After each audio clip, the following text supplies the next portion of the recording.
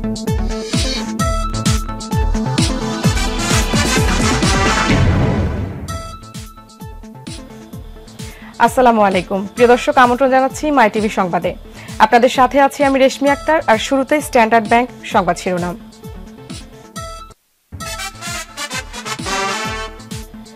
BNP Jamaat ক্ষমতায় এসে দেশের নয় নিজেদের ভাগ্য উন্নয়নে কাজ করেছে বললেন প্রধানমন্ত্রী চাঁদপুরবাসীর কাছে নৌকায় ভোট প্রত্যাশা তারল্য সংকট ঠেকাতে বেসরকারি ব্যাংকগুলো নগদ জমা এক শতাংশ কমানোর সিদ্ধান্ত অর্থমন্ত্রীর এক মাসের মধ্যে সুদের হার নামবে এক অঙ্কের ঘরে খালেদা জিয়া সুস্থ আছেন অযথা গুজব না ছড়ানোর আহ্বান স্বাস্থ্যমন্ত্রীর বেগম জিয়াকে কারাগারে সুচিকিৎসা দেওয়া হচ্ছে না অভিযোগ মির্জা ফখরুলের ক্ষমতার চেয়ার আঁকড়ে থাকার লোভী দুর্নীতির অন্যতম প্রধান কারণ মন্তব্য দুদক চেয়ারম্যানের চিহ্নিত দুর্নীতিবাজদের কঠোর শাস্তির আওতায় আনার তাগিদ শুনলেন স্ট্যান্ডার্ড ব্যাংক সংবাদ শিরোনাম সংবাদ এছাড়াও থাকছে মাই রোববারের বিশেষ আয়োজন উন্নয়ন অগ্রযাত্রায় বাংলাদেশ নতুন যুগের জোয়ার স্রোতে ডিজিটাল নৌকার পাল তুলে ইনফ্রাস্ট্রাকচার বাংলাদেশ আরও থাকছে নিয়মিত আয়োজন এই রাজধানী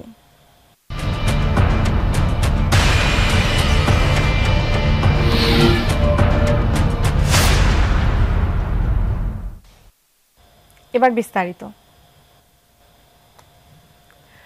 উন্নয়নের ধারাবাহিকতা বজায় রাখতে চাঁদপুরবাসীর কাছে নৌকা মার্কায় ভোট চাইলেন প্রধানমন্ত্রী শেখ হাসিনা চাঁদপুর স্টেডিয়ামে আওয়ামী লীগ আয়োজিত জনসভায় তিনি বলেন বিএনপি জামায়াত ক্ষমতায় এসে দেশে নয় নিজেদের ভাগ্য উন্নয়নে কাজ করেছে এ সময় চাঁদপুরে নৌবন্দর সহ অর্থনৈতিক অঞ্চল স্থাপনের আশ্বাস দেন প্রধানমন্ত্রী এর আগে সকালে বাংলাদেশ স্কাউটসের ষষ্ঠ জাতীয় কমটেকার উদ্বোধনী অনুষ্ঠানে যোগ দেন প্রধানমন্ত্রী শেখ হাসিনা রাকিব হাসানের রিপোর্ট চাঁদপুর জেলা স্টেডিয়ামে আওয়ামী লীগ আয়োজিত জনসভায় প্রধান অতিথি হিসেবে যোগ দেন প্রধানমন্ত্রী শেখ হাসিনা নির্বাচনকে সামনে রেখে দেশ পরিচালনা সরকারের সাফল্য তুলে ধরে বিএনপি জামাতের মূল্যায়ন করতে দেশবাসীর প্রতি আহ্বান জানান তিনি নৌকায় যখন ক্ষমতা আসে তখনই উন্নয়ন হয় আমরা উন্নয়নে বিশ্বাস করি পঁচাত্তরের পর থেকে যারা ক্ষমতা ছিল ওই জিয়া বলেন এরশাদ বলেন খালেদা জিয়া বলেন বাংলাদেশের তো কোনো উন্নতি করতে পারেনি তারা বাংলাদেশকে পাঁচবার দুর্নীতিতে চ্যাম্পিয়ন বানিয়েছে বাংলাদেশের মাথা হেট করেছে বিশ্বের দরবারে নিজেরা লুটপাট করেছে টাকা পাচার করেছে বিদেশে সেখানেই খান্ত হয় নাই খানার জন্য টাকা এসেছে খানায় টাকা দেবে খানা বানাবে বলে বিদেশ থেকে টাকা দেওয়া হয়েছে এতিমদের জন্য একটা টাকাও এতিমের হাতে যায় নাই সেই টাকা সব লুটপাট চুরি করে খেয়েছে উন্নয়নের যে সুফল ভোগ করছে জনগণ তার ধারাবাহিকতা ধরে রাখতে চাঁদপুরবাসীর কাছে নৌকা মার্কায় ভোট চান আওয়ামী লীগ সভানেত্রী এই নৌকায় ভোট দিয়ে আপনার স্বাধীনতা পেয়েছেন তাই আগামীতে যে নির্বাচন হবে নির্বাচন কমিশনার ঘোষণা করেছিলেন ডিসেম্বর মাসে নির্বাচন হবে আমি আপনাদের কাছে উন্নয়নের ধারাবাহিকতা বজায় থেকে আমরা যেন উন্নয়ন করতে পারি উন্নয়নের সেই ধারাবাহিকতা বজায় রাখার জন্য আমি আপনাদের কাছে নৌকা মার্কায় ভোট চাই আপনারা ভোট দেবেন কিনা দুই হাত তুলে অদা করেন এর আগে দুপুরে চাঁদপুরের হাইমচরে বাংলাদেশ স্কাউটের ষষ্ঠ জাতীয় কমডোরের উদ্বোধনী অনুষ্ঠানে যোগ দেন সরকার প্রধান দেশকে ভালোবেসে দেশ গড়ার মানসিকতা নিয়ে কাজ করতে স্কাউট সদস্যদের প্রতি আহ্বান জানান প্রধানমন্ত্রী শেখ হাসিনা ও স্কাউট বৃদ্ধ আগামী দিনে তোমরা বাংলাদেশকে নেতৃত্ব দেবে তোমরাই জাতির পিতার স্বপ্নের ক্ষুধামুক্ত দারিদ্র্যমুক্ত উন্নত সমৃদ্ধ বাংলাদেশ নির্মাণ করবে এবং সেই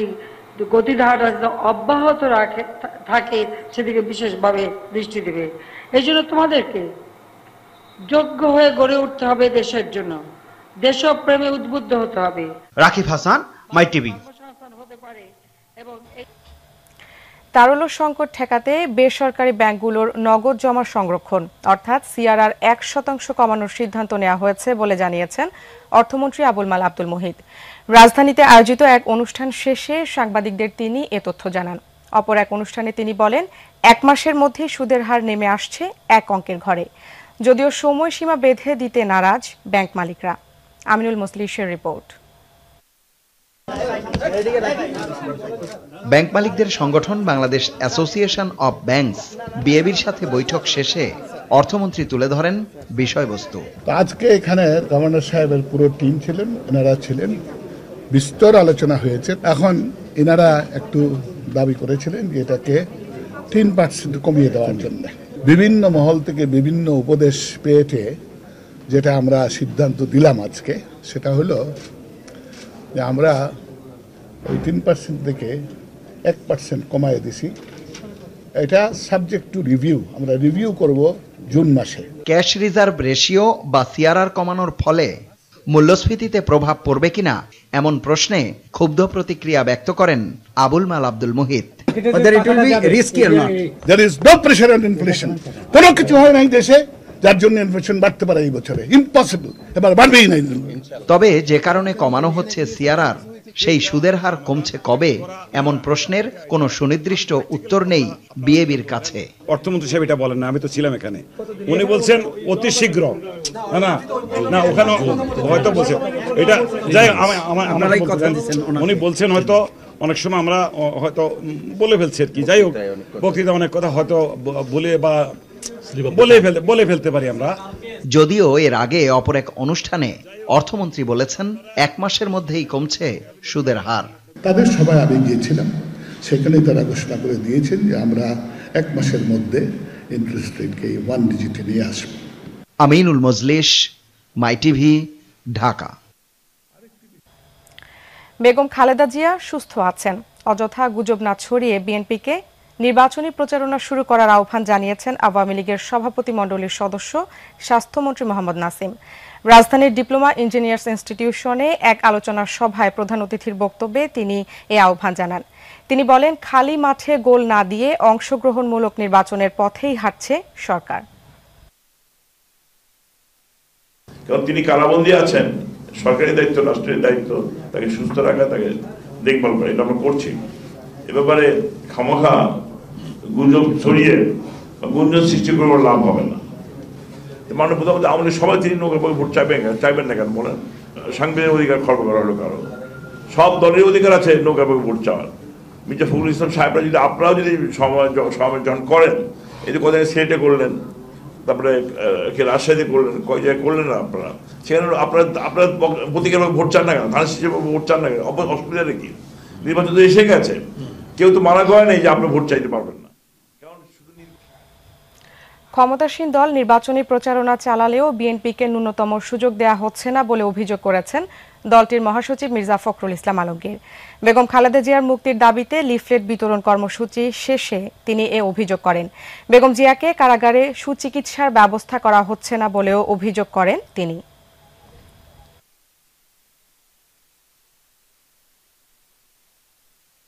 উনাদের রাজনৈতিক অধিকারটা যেটা সেটা কিন্তু আপনার একটা সংবিধান এবং আমাদের নির্বাচন কমিশনের বিভিন্ন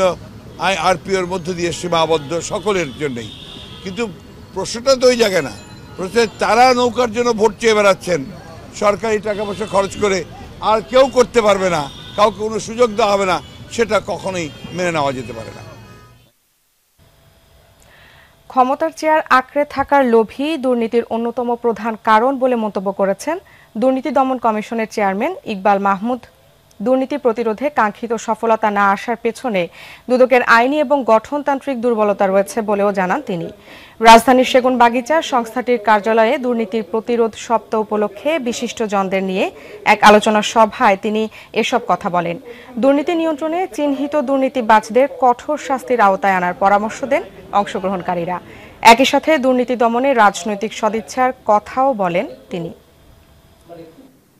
কোনো কোনো ক্ষেত্রে কাজ করে এই চেয়ারের ভালোবাসায় আমাদের দুর্নীতিতে আমরা আকণ্ঠ নিমজ্জিত এবং আমরা কিছু কিছু লোককে এই চেয়ারের ভালোবাসার থেকে নিয়ে জেলখানায় ঢুকানোর চেষ্টা করছি এবং দেখানোর চেষ্টা করছি যে please don't love your chair এবার উন্নয়ন অগ্রযাত্রায় বাংলাদেশ বর্তমান সরকারের ঘোষিত ডিজিটাল বাংলাদেশ নির্মাণের অংশ হিসেবে দেশব্যাপী তৈরি হচ্ছে একাধিক হাইটেক পার্ক যার ফলে কর্মসংস্থান সৃষ্টির পাশাপাশি দুই সাল নাগাদ পাঁচ বিলিয়ন মার্কিন ডলার রপ্তানি আয় হবে বলে মনে করছে তথ্য ও যোগাযোগ প্রযুক্তি প্রতিমন্ত্রী জুনায়দ আহমেদ পলক এ সেক্টর দেশের জন্য অপার সম্ভাবনাময় খাত হিসেবে দেখছেন উদ্যোক্তারা আরও জানাচ্ছেন রাকিব হাসান ক্যামেরায় ছিলেন রফিকুল ইসলাম যুগের জোয়ার স্রোতে ডিজিটাল নৌকার পাল তুলে বাংলাদেশের সম্ভাবনাময় সেক্টর আইসিটি বর্তমান প্রধানমন্ত্রী শেখ হাসিনা ঘোষিত ডিজিটাল বাংলাদেশ বিনির্মাণের অংশ হিসেবে এগিয়ে যাচ্ছে এই সেক্টর বিশ্বের অন্যান্য দেশের মতো বাংলাদেশের তথ্য প্রযুক্তিকে আরও যুগোপযোগী করতে সাতটি বিভাগেই তৈরি করা হচ্ছে হাইটেক পার্ক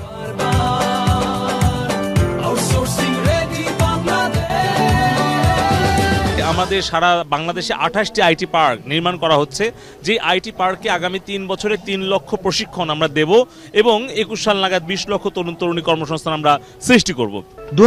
সালে আইসিটি সেক্টর থেকে মাত্র ছাব্বিশ মিলিয়ন ডলার আয় হতো দু সালে এক বিলিয়ন এবং দু সাল নাগাদ তা পাঁচ বিলিয়ন ডলারে দাঁড়াবে বলে মনে করছেন তথ্য ও যোগাযোগ প্রযুক্তি প্রতিমন্ত্রী জুনায়েদ আহমেদ পলক দু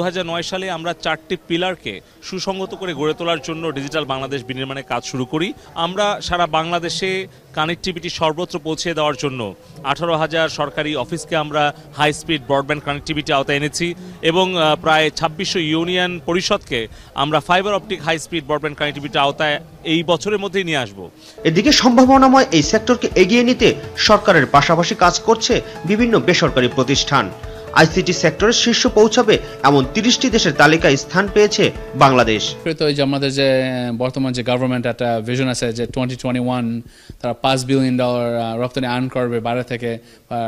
যে এই সেক্টরটা নিয়ে সো আমি আমরা পুরোপুরি অ্যালাইন্ড তাদের সাথে আমেরিকার কাস্টমার তারা খুব খুশি যে আমাদের মানে ছেলে মেয়েরা খুব ভালো কাজ করতেছে বাংলাদেশে বসে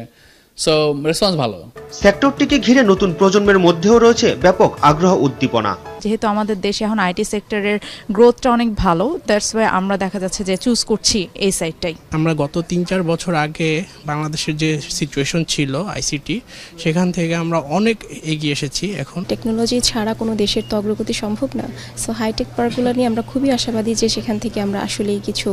উন্নতির দিকে যেতে পারবো it seems like interesting to me every day আমাদের কাজের জন্য maybe there will be some good better opportunity অনেকে ইতিমধ্যে পেশা হিসেবে বেছে নিয়েছেন আউটসোর্সিং এর মতো প্রযুক্তি নির্ভর বিভিন্ন ক্ষেত্রকে টেকনোলজিটা এভাবেই আমাদের সাথে জড়িত যে আমরা যতটা ইউজ করব ততই আমরা বেনিফিটেড হব আমাদের অপরচুনিটি অনেক বেশি দেওয়া হচ্ছে বা আমরা অনেক বেশি ইমপ্রুভ এখানে করতে পারছি সো আমি আমি মনে করি যে আইটি সেক্টরটা অনেক বেশি ইমপ্রুভ করবে ইন ফিউচারে এই ইন্ডাস্ট্রিটাকে আরও শক্তিশালী করে আমরা যেন বিশ্বের দরবারে বাংলাদেশকে যেন একটা গুরুত্বপূর্ণ দেশ হিসাবে প্রতিষ্ঠা করতে পারি বাংলাদেশে তৈরি হবে বিশ্বমানের প্রযুক্তি পণ্য বাংলাদেশের নির্মিত সফটওয়্যার দিয়ে চলবে অফিস আদালত ব্যাংক বিমা বাংলাদেশে বসেই গুগল মাইক্রোসফটের মতো আন্তর্জাতিক প্রতিষ্ঠানের আইটি বিশেষজ্ঞদের সাথে কাজ করার সুযোগ পাবে বাংলাদেশের তথ্য প্রযুক্তিবিদরা আর এ সব কিছুর দ্বার খুলে দিচ্ছে বাংলাদেশের হাইটেক পার্ক দর্শক দেশের এগিয়ে যাওয়ার চিত্র তুলে ধরতে মাই সাপ্তাহিক আয়োজন উন্নয়ন অগ্রযাত্রায় বাংলাদেশ সঙ্গে থাকছি আমি রাকিব হাসান এবার এই রাজধানী রামপুরা ও মালিবাগ এলাকার অধিকাংশ রাস্তার মোড়ে মোড়ে সৃষ্ট জলাবদ্ধতা ও খানাখন্দে অতিষ্ঠ এলাকাবাসী সরকারি রাস্তার দুপাশ দখল করে ফেলে রাখা বিভিন্ন বহুতল ভবনের নির্মাণ সামগ্রীতে বিনষ্ট হচ্ছে নাগরিক সৌন্দর্য তরিকুল ইসলামের ক্যামেরায় আরও জানাচ্ছেন হাসান জাকির রাজধানীর মালিবাগ চৌধুরীপাড়ার প্রধান সড়কের চিত্র এটি জলাবদ্ধতা যেন এলাকাবাসীর সকল কর্মকাণ্ডের ধীর গতির কারণ যদি সামান্য পরিমাণ পানি হলেই এক হাঁটি সমান পানি যে আবুল হোটেলে থেকে যখন এই যে ফ্লাইওভারটা হচ্ছে আমরা ভেবেছিলাম যে ওই রাস্তাটুকু ঠিক হওয়ার সাথে সাথে এই রাস্তাটাও ঠিক হবে বৃষ্টি হইলে বাচ্চারা তো আমরা স্কুলে আসতেই পারে না গাড়ি অ্যাক্সিডেন্ট করে রিক্সা রিক্সা থেকে কাঁদতে হয়ে পড়ে যায় রাস্তাটি দিয়ে শুধু স্থানীয় লোকজনই নয় যাতায়াত করে বিভিন্ন স্কুল কলেজ ও বিশ্ববিদ্যালয়ের শিক্ষার্থীরা কর্তৃপক্ষকে জানানো হয়েছে বাট uh, এতখানি কাজ আজ হচ্ছে কাল হচ্ছে হয়ে যাবে আর সামনে তো বর্ষাকাল আসতেছে হাঁটু পানি জমে যায় মানে বিশেষ করে এলাকার ক্ষতি তো হচ্ছে তার চেয়ে বেশি ক্ষতি হচ্ছে আমাদের স্কুলের বাচ্চাদের শনিবার বিকেল সাড়ে চারটা মাইটিভির এই রাজধানীর টিমের ক্যামেরা মালিবাগ চৌধুরী পাড়ায় পুরো এলাকাটি জুড়ে বেশ কয়েকটি শিক্ষা প্রতিষ্ঠান মসজিদ মাদ্রাসা ও সরকারি বেসরকারি বিভিন্ন প্রতিষ্ঠান রয়েছে সরকারি রাস্তার দুই ধার দখলে রয়েছে বিভিন্ন বহুতল ভবনের নির্মাণ সামগ্রীতে চিত্রটি মাইটিভির এই রাজধানী টিমের ক্যামেরায় বন্দি করতেই শুরু হয় প্রভাবশালীদের সঙ্গে মাইটিভির প্রতিবেদকের বাক বিতণ্ডা হ্যাঁ, এদিকে খিলগাঁও এলাকার চিত্র দেখে হতভম্ব এই রাজধানী টিমের ক্যামেরা স্থানীয়দের কথায় কিছুদিন পূর্বেই নাকি মশামাছির উপদ্রব থেকে এলাকাবাসীকে রক্ষা করতে পরিষ্কার ও পয়নিষ্কাশন করা হয় লেকটি কিন্তু পুরো লেক এলাকাটির চিত্র দখলদারিত্বের সুইচ গেটটা ঠিক আছে মানে আমরা গড় তুলে রয়েছি গরিব মানুষেই আসলে ঠিক আছে ধরুন পরিষ্কার হয় না ঠিক আছে কিছু কিছু থাকা যায় আবার বৃষ্টি এলে আবার ভুইরা যায় এরকম জানালা তো সারাদিন খোলাই যায় না আর যদি সন্ধ্যার পর কোনোভাবে খোলা থাকে তাহলে পুরো ঘর মানে কালো হয়ে যায় মশার যন্ত্রণায় মশার জন্য তো বসাই যায় না ঘরে নাগরিক সৌন্দর্য বর্ধন প্রক্রিয়ায় কোনো প্রকার দখলদারিত্ব বরদাস্ত করা হবে না এমন হুঁশিয়ারি দিয়ে স্থানীয় জনপ্রতিনিধি বীর মুক্তিযোদ্ধা এ কে এম রহমতুল্লাহ স্থানীয়দের বর্জ্য ব্যবস্থাপনায় আরও সচেতন হবার পরামর্শ দেন আমরা রেগুলার ব্যবস্থা নিয়ে থাকি এই ধরনের আমাদের নেতৃবৃন্দ আসেন আমরা থানার নেতৃবৃন্দ যদি না পারে থানার আমরা টেলিফোন করি থানার সঙ্গে সঙ্গে অ্যাকশন নেয় কারণ আমি বিশ্বাস করি একটা লোকের জন্যে এক হাজার লোকের আমি মানে কষ্ট দিতে চাই না আমি বদদাও নিতে চাই না বদনামও নিতে চাই না এর জন্য একটা লোক যদি আমার ভোট না দেয় না দেখ আমি সবসময় অ্যাকশনে যাই হাসান জাকির ঢাকা সংবাদের পর্যায়ে নিচ্ছি বিরতি আর ফিরে এসে অন্যান্য সংবাদের সাথে আরো যা থাকছে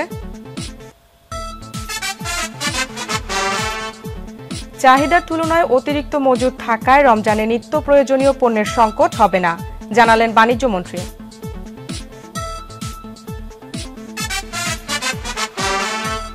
বর্তমানে দেশেই হচ্ছে বোন ম্যারো ট্রান্সপ্লান্টের মতো জটিল অপারেশন সরকারি ও বেসরকারি সহায়তা বৃদ্ধির তাগিদ চিকিৎসকদের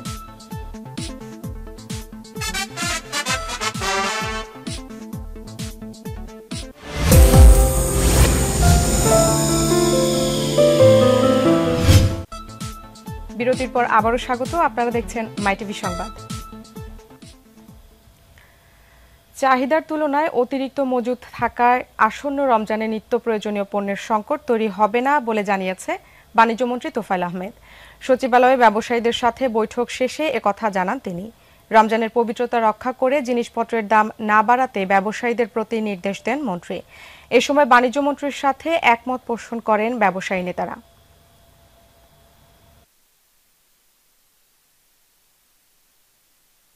আপনারা রোজার মাসটাকে পবিত্র মাস হিসাবে সহনশীল হিসাবে আপনারা নেবেন এবং আপনাদের যদি কোনো অসুবিধা থাকে এই গ্রুপ ওয়াইজ না হয়েও আপনি যে কোনো সময় আমার কাছে আসতে পারবেন যে কোনো সময় আপনারা যে কেউ আমাকে বলতে পারবেন যে এই সমস্যাটা হচ্ছে আমি তাড়াতাড়ি তখন সেই সমস্যার সমাধান করার চেষ্টা করব। প্রচুর মানে পণ্য আছে দামটা যেন না পারে প্লিজ দেশে বোন ম্যারো ট্রান্সপ্লান্টের চিকিৎসা সেবার কারণে নিম্ন ও মধ্য আয়ের রোগীরা ফিরে পাচ্ছেন বাঁচার আশা বিদেশে চিকিৎসার শরণাপন্ন হতে হচ্ছে না তাদের ব্লাড ক্যান্সার আক্রান্ত রোগীর এ সেবা আরও বাড়াতে সরকারি ও বেসরকারি আর্থিক সহায়তা আশা করছে ঢাকা মেডিকেল ও বঙ্গবন্ধু শেখ মুজিবুর রহমান মেডিকেল কলেজ হাসপাতাল শারমিন আজাদের রিপোর্ট মনোয়ার হোসেন এখনো স্কুলের গণ্ডি বেরোয়নি যখন রঙিন স্বপ্ন চোখে এঁকে জীবনের রূপ দেখবে তখনই তার রক্তকণিকায় মরণ ব্যাধি ক্যান্সারের ছোবল কেড়ে নিয়েছে তার বয়স সুলভ স্বাভাবিক উচ্ছলতা নিস্তেজ পড়ে আছে ঢাকা মেডিকেল কলেজ হাসপাতালের হেমাটোলজি বিভাগের বিছানায় মানে সালে ঢাকা মেডিকেল কলেজ হাসপাতালেই প্রথম শুরু হয় bone marrow transplantation thalassaemia cancer arthritis এর চিকিৎসায় এই বোন ম্যারো ট্রান্সপ্লান্টেশন দরকার পড়ে শুরু থেকে এখন পর্যন্ত চৌত্রিশ জন রোগীকে এ সেবা দিয়েছে ঢাকা মেডিকেল কন্টিনিউয়াস আমরা বোন ম্যারো করার জন্য যে জিনিসপত্র দরকার রিয়াজেন্ট দরকার ওষুধপত্র দরকার সেগুলো পাচ্ছি না এই নিম্ন আয়ের মধ্যমে আয়ের রোগীরা দেশের চিকিৎসা পাচ্ছে প্রচুর পরিমাণ টাকা বিদেশে যাবে না সেই টাকাটা সরকারের কোষাধ্যক্ষে রয়ে যাচ্ছে ঢাকা মেডিকেল কলেজ হাসপাতাল থেকেই সিএমএইচ হাসপাতালেও বোন ম্যারো চিকিৎসা সেবার প্রশিক্ষণ দেয়া হয়েছে আমেরিকার একটি হাসপাতালের সাথে সমন্বয় করে কাজ করছে ঢাকা মেডিকেল তবে রয়ে গেছে কিছু প্রতিবন্ধকতা সিঙ্গাপুরে এই অটোলোকাস বোলম্যানো ট্রান্সপ্লান্ট করতে পঁয়তাল্লিশ লক্ষ টাকা লাগে অথচ আমরা এই সেম একই লেভেলের একই মানের চিকিৎসা দিতে পারছি মাত্র পাঁচ থেকে ছয় লক্ষ টাকায় বঙ্গবন্ধু শেখ মুজিবুর রহমান বিশ্ববিদ্যালয়ে সম্প্রতি শুরু হয়েছে এই চিকিৎসা তবে সরকারের ২০ কোটি টাকার আর্থিক সহযোগিতা রয়েছে তাদের বঙ্গবন্ধুর থেকে আমরা বিশ কোটির একটা বাজেট দিয়েছিলাম ফেস বাই ফেস তো সেটা যদি সরকার আমাদেরকে দেন তাহলে আমরা হয়তো খুব শর্টলি আলোচনিকটা করতে পারবো ক্যান্সার আক্রান্ত রোগীর হার আট থেকে দশ শতাংশ অথচ সেই অনুপাতে চিকিৎসা সেবা পাচ্ছেন কম শারমিন আজাদ মাই টিভি ঢাকা পদ্মার বুকে চলছে দেশের বৃহত্তম অবকাঠামো পদ্মা সেতু নির্মাণ কাজ আগে শেষ হয়েছে সংযোগ সড়ক টোল প্লাজা সার্ভিস এলাকা সহ বেশ কিছু গুরুত্বপূর্ণ স্থাপনা নির্মাণ কাজ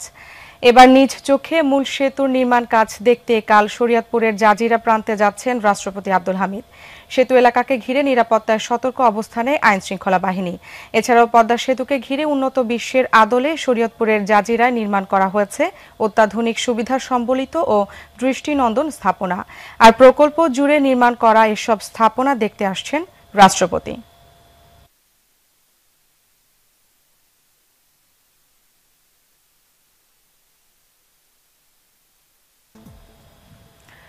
গোপালগঞ্জের মোকশেদপুরে বাস রাস্তার পাশে খাদে পড়ে আটজন নিহত হয়েছে এ ঘটনায় আহত হয়েছে আরও তেইশ জন